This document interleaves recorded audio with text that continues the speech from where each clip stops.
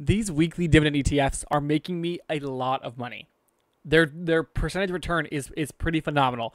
And I'm going to go over all of that and more. We're going to look at every single chart for these ones because all 8 of these weekly paying dividend ETFs I some of them do better than others, but we're going to talk about it. I, I get I get too excited because they are back positive. We can see the total assets eight hundred and forty four dollars off of an eight hundred dollar investment.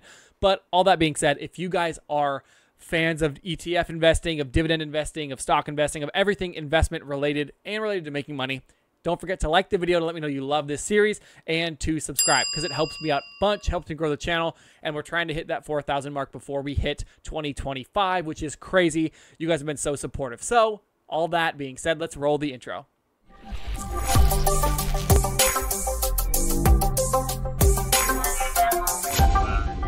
So, before I go into the individual positions, check this out.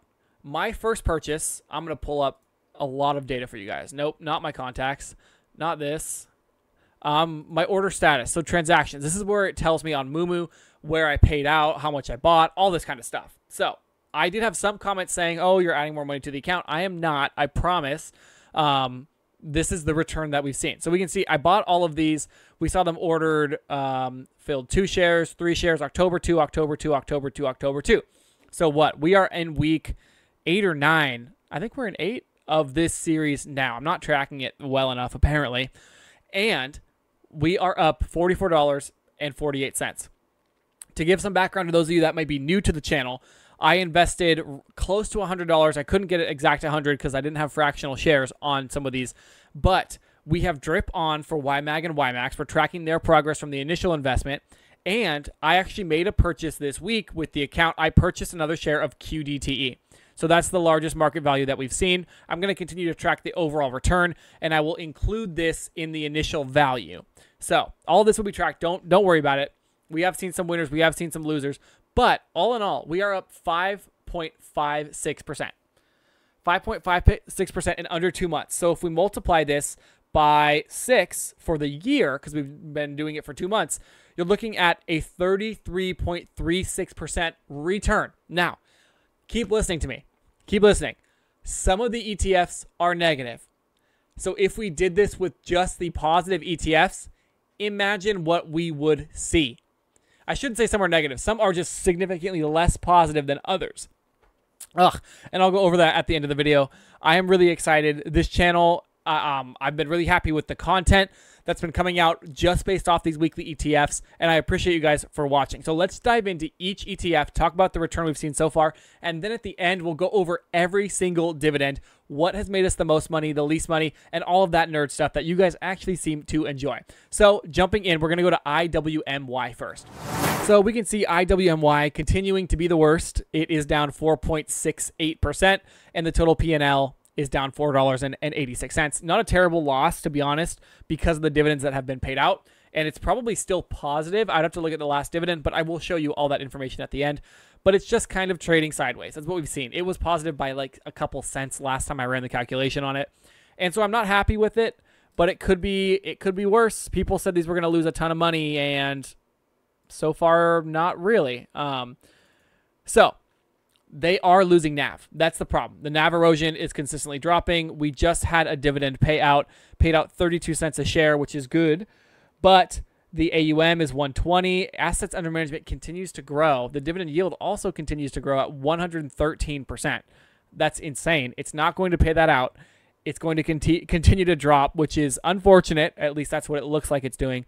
But the last four dividends were 31.5 cents, 33 cents, 42 cents, and now 32. So this one actually is a little bit even lower. It's not the lowest that we've seen, but it's nowhere near the highest. It's one of the lower end ones. But because it had such a crazy dividend last week, I was kind of half expecting it. So IWMY, not happy with it, not too sad with it. I wanted these ones to to do better. If you aren't familiar with these funds, I have some videos on them. These ones sell they sell cash secured puts and they just been they've been underperforming the other ones. But our market has been very very green, so that may be part of this. If we see a reversal, we see the market start to, t- to trend downward. Maybe these would do better. I don't know, but we'll jump into the next one. QQQY, we have seen this one drop as well. It's down 3.54%. Again, not terrible. It's probably positive overall. And this one has been trading a bit more sideways. And so when I say trading sideways, what I mean is we used to see this pay out the dividend, drop like crazy, kind of trade back up, but it never got back to the price before the previous dividend. And that was the problem, meaning you're going to lose money over time. So we have seen a few weeks where it has been able to kind of hold up, but it still is is kind of dropping. So it's dropping at a lower rate, which is fine. That's better for the ETF. That means we are saving more of our capital because the dividends are still getting paid out, but it also could just be like an influx of money into the ETF as well. So the AUM 185 bigger, quite a bit bigger than some of the other ones. I think it's the largest Defiance ETF and a yield of 86.5%, which is not sustainable whatsoever. We can check the last four dividends 25 cents. Oh, let me, I'm shrinking. Let me shrink. 25 cents, per share, 25 and a half, 25 and a half. And then we had 26 and a half, and then we had 34 cents, and then 24 cents. Wow. A big drop off, but the dividend prior was pretty huge, so I wasn't surprised by that. Although some of the other ones did do really well, so I'm not sure if it's just the Defiance ones. I guess we'll see with our next one, which is WDTE. So we can see we're down 1.94% on WDTE. It is the biggest winner of the losers. So you'll notice the only ones in the red are the Defiance ETFs. And this is pretty crazy because these are paying out weekly dividends. So look at this. Look at YMAX. I'm jumping ahead. It's up 5% and it pays out a huge dividend every single week. But WDTE, we'll get to that one. We'll get to YMAX, I promise. We can see AUM lower, just under 80 at 78 million, and a dividend yield also lower at, at 53.6%. And trading a little bit better actually. We did have a really good week last week, and so it did pay out this dividend. Um, but the last couple of dividends we've seen 25 cents, 29 cents, rounding up a little bit, 33 and a half cents, and now 24 and a half cents. So on the lower end of their dividends, probably is this actually the lowest that we've seen? I think it is the lowest dividend that we've seen. So I don't like to see that, but because it is trading sideways, I'm okay with it. It is the biggest, it is the smallest loser that we've seen so far. Now we're going to move into the Roundhill funds, which have been absolutely astronomical in this account, some better than others just within the Roundhill group. But I recently put out a video on a prospectus that was put out by Roundhill to make more ETFs that pay weekly. So if you're interested, I'll link that video at the end of this one. They're not out yet, but that's how it works. They're not definitely even going to come to the market. That's how the whole prospectus thing works. It's mean they're they're filing for it, but it doesn't mean they have to do it. Um, but if you're interested, check that one out at the end. Wait until the end of the video because this week was pretty pretty crazy with our returns. So looking at QDTE, I'm starting with the big one here because we put more money into this one. I did buy another share, so now we're at three. We're at $127.80 with this one. Um, drip is not on, but I'm going to keep dripping the Defiance funds into the ones that are actually making money so that we can hopefully continue to make money and not lose money because Defiance seems to forget that sometimes. But we are positive by 0.5%. I believe that our purchase price was a little bit our, our, of the the most recent share was a little bit above, so it could have pulled that unrealized P&L down. But we see a really healthy chart. Yes, we've seen some drop. We've seen it go from $47 to 42 and a half which isn't great. But look at the volume on this thing. It's crazy. The volume has skyrocketed since the weekly ETFs became really, really popular. And so the market does have a big role in how these things do trade.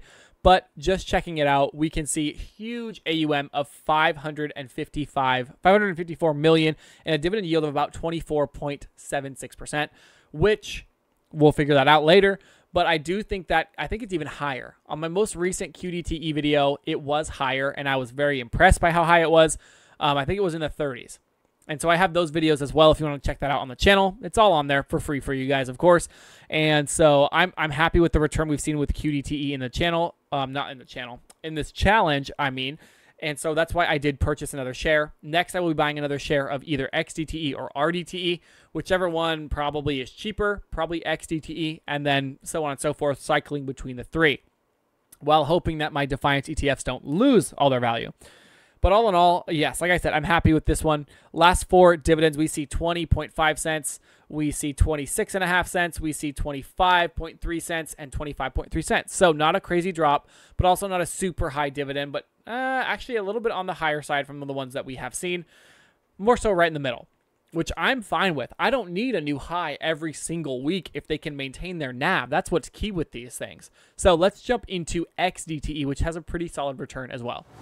Still only two shares, but a return of 1.57%, making us $1.64, not including dividends, which is wild. And we can see that we still have just the two shares. Pulling up XDTE's chart, much better chart. Probably the best chart of any of the weekly payers, I would say. It is is it at all-time highs? Let's see. 52 week high, 53.28.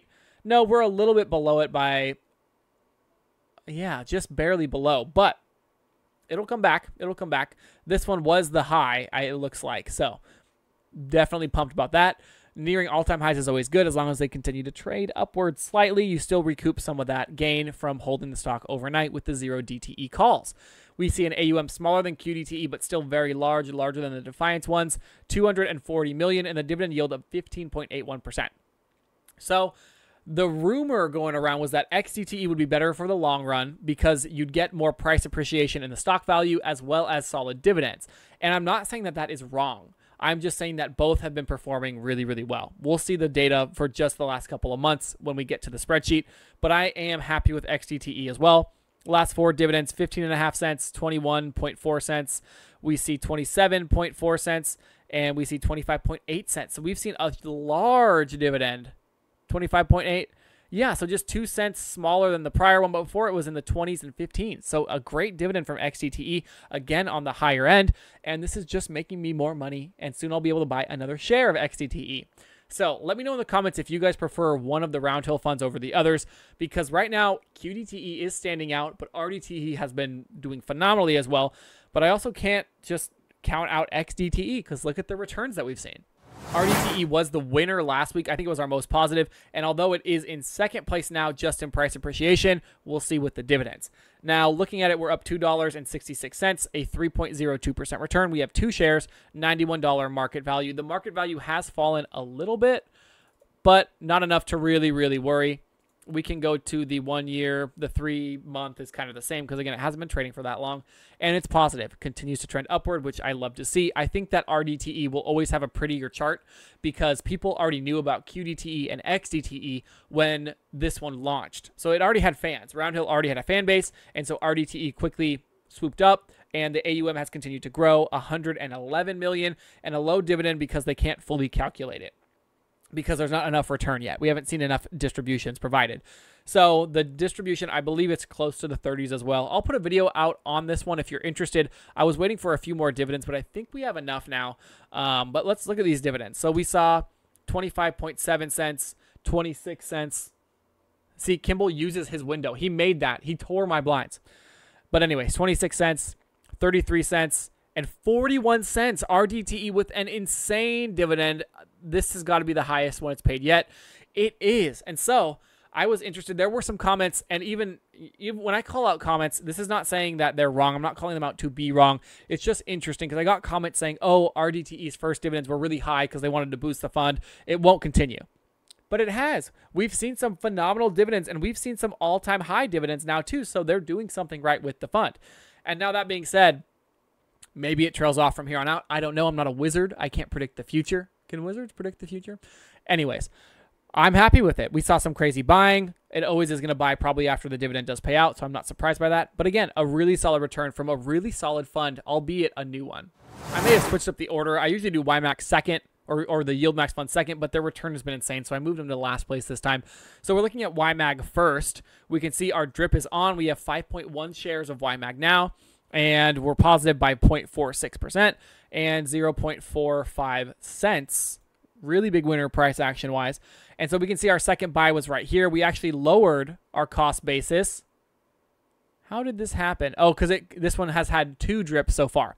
So no, we did raise our cost basis with these last two recent purchases, but that's okay because that's what drip is all about. I really like that we can see the drip continuing on here. And so, moving on forward, we see an AUM of 241 million, rather large, and a dividend yield of 33, almost 34 percent. And I believe that one does hold up. I will be putting out videos on YMAX and YMAG in the near future because they seem to be popular funds, and I like them, and so I like talking about them. But last couple of dividends, we can see 15 cents a share, 21 cents a share, 20 cents a share, 21 cents a share, sorry, and last one was 6 cents a share. Now, people sometimes freak out with YMAG because of this, but YMAG is only made up of 7 funds. So it's the seven main big stocks that YieldMax writes their calls on. And so the way they pay out dividends, those seven underlying ETFs only pay out monthly. YMAG holds all of them, so they get paid out weekly in certain instances, and sometimes the weeks are more than others. Because let's say you have three payout one week and one payout the next week, you're going to see a huge disparity between the dividends. So if you see a six cent dividend, don't freak out. It's how this works. It's how these two funds work because these are not typical. They're not the same as either the Roundhill or the Defiance ETFs and how they work their options. So I'm still very happy with this low dividend, solid price return that we've seen so far. We'll check it at the end and see how much money we've actually made. Now let's go to Y Max because I know you guys were waiting for that one and I was too our winner in the account up 5.07%. We've made $4.49 crazy compared to our biggest loser. So 5% positive, 4.7% negative. YieldMax is a 10% swing if you bought one over the other. YieldMax has been doing really well. I'm happy with it. You guys converted me. I was only a fan of YMAG, and now I am a fan of YMAX as well. Is YMAG still my favorite? I don't know. Now it's really hard to tell. Um, and with the new Roundhill funds, I don't know if any of these are going to be my favorite because they're putting out, te- or they're saying they could release 10 new ones but YMAX until then is going to keep making me money, it seems. Pretty healthy chart. We did see it switch to the weeklies, and since switching to the weeklies, we've seen some great returns. And that's what I expected. The weekly option calls are better. They're working better than they were when they were doing the monthly calls. And so I'm happy with that. Very, very happy. Huge AUM of 240 million. I think it's the second largest in the account behind QDTE, and a dividend yield of 35%. Now, really, really interesting stuff. I really like I said, it's just it's been solid. That's all I can really say. I don't want to repeat myself a thousand times, but I'm really I'm happy with a lot of these.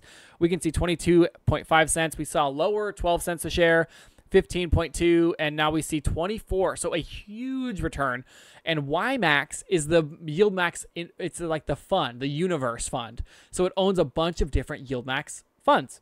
And so this one, the dividend again can be all over the place. It's a little bit less of a disparity because YMAG only holds seven, whereas YMAX holds more than seven. It's it's more linked to I think there's some Bitcoin stuff in there as well, which is really really interesting. But a really solid return price appreciation wise, and this is probably why because they do hold Bitcoin, or in a way they hold Bitcoin, and so that's probably why we've seen it jump so high percentage wise. And so now we're gonna jump into the ETF spreadsheet that has all of our data collected. And so we're going to slide right over there. I do want to point out that I am doing a sponsored video that's going to be dropping sometime within the next couple weeks that I am really, really interested about. It is a penny stock, but it's like a penny stock ETF.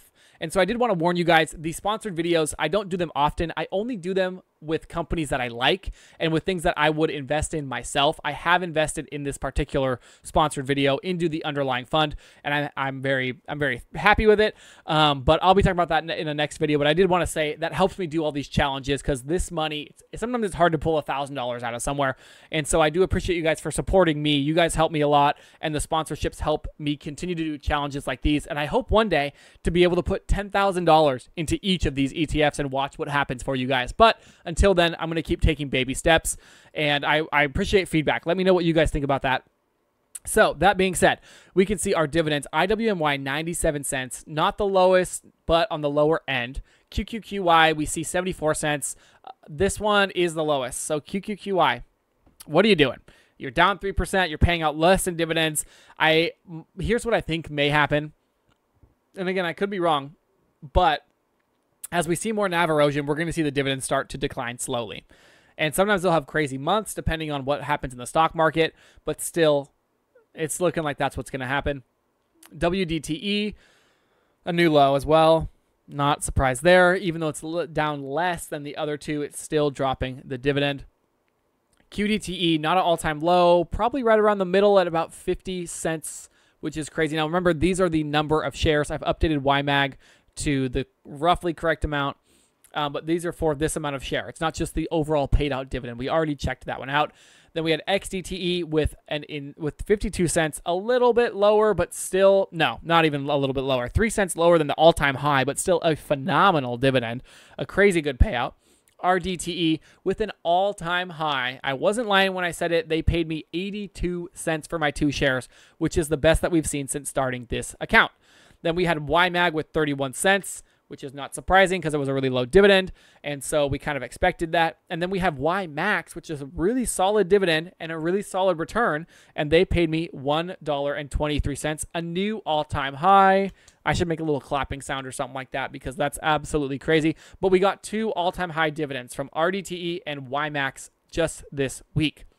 So, what I'm going to do now, we're going to throw in some fun Excel math and I'm going to add all of these all this data together.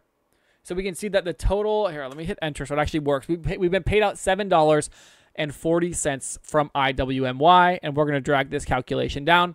And we can see that total, total, we actually had $6 paid out from QQQY so far, $3.91 from WDTE. This is really interesting because IWMY is down the most, but has paid out the most dividends. So something to think about. WDTE paid out $3.91.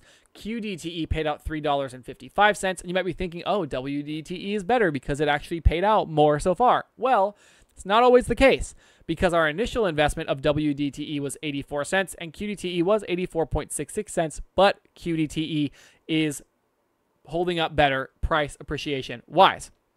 Now, continuing on, XDTE lower again, $3.12. RDTE a pretty crazy $4.32. Then we get to YMAG, $5.96. And the king that we've seen so far, $6.73 from YMAX. This is crazy. So what I'm going to do now is we're going to do more fun math. And I'm going to do the total amount of dividends that we were paid out this week. One too many we made $5.58 in dividends. A little bit lower from our beginning stuff, but that's mostly because we've seen a drop from over a dollar for IWMY and QQQY to where it sits now, even though YMAX and RDTE are paying out new highs. And our total amounts of dividends so far, we're going to do this again. We're going to do equals this with a bunch of pluses. There's another way you can do this, but I'm not great with Excel. Boom, $41 even. That's crazy. $41 even paid out in dividends absolutely wild. So if we cut the losers out, like let me pull Moo back up. If we cut the losers out, so four, I'm gonna round it, five dollars, six, seven, eight, nine, ten dollars roughly. If we cut out just the losses that we saw, we would actually be doing really, really well. We'd have eight hundred and fifty-four, fifty-five dollars in the account, and we would have a pretty solid dividend return. Of course, we would lose the the other dividends from those, but still pretty pretty crazy to see that. Now, I'm going to do a comparison of what we've seen with our total dividends invested and total return from the ETFs. I'll run some fun math for us and I'll show you that in just one second. Okay, I think I have this figured out finally. We are going to do equals this number minus this number, which should be positive, yes, because they are all positive returns so far, but some much, much more than others. So we can see an insane return. We've seen very little from IWMY, $3, $3 return, which isn't great. And I'll, I'll pull the percentages up as well. 236 from QQQY, 227 from WDTE. This is price appreciation as well as dividends. And then we see start getting better. QDTE 418, XDTE 476, RDTE just under $7, YMAG 850 and YMAX $12, $11.98, which is totally, totally insane. So to get our percentage, we're to, this is to look very, very funny, but we're to divide this number by our initial investment, which is to hit equals, which, oh, that looks awful, and it is, but trust me. And then we're to do equals this multiplied by 100 for our percentage. And we see our percentage return right here in this box. Let me let me make it pretty. So this is our percent return, which is crazy. So we've seen a 2 2.89% return. These are not terrible from the Defiance funds, 2.8 roughly 2.3 to 2.7 and 2.9. So not bad. IWMY is not our biggest loser because they have paid out so much in dividends so far. But then we get into QDTE, which is which is 3.2, 3.3%. So it's actually not doing way better than the Defiance funds like I thought, but it did come down a little bit last week, and that might be why. XDTE doing even better, 5 point or 4.55%. RDTE just under an 8% return, which is crazy as well.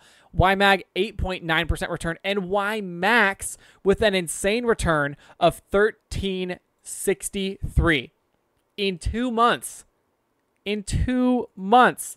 This is wild. These percent returns are just crazy. And so what I'll do is we'll actually add I'll do it up here. We'll add this number up and we're going to whoops, I messed that up. We're going to figure out exactly this plus this plus this plus this, how close we are to accuracy. $44. So we are a little bit under because we have seen our total return of $44.48, a couple bucks under, nothing too crazy, but still some insane, insane returns. I'm blown away by this. I think it's really, really cool. I think the challenge has done really, really well, and I'm glad that you guys are enjoying it, or at least I think you are. Let me know in the comments what you think, if my math adds up, because I always love having a second set of eyes on this stuff. I really appreciate you guys for watching, and I hope to see you in the next video.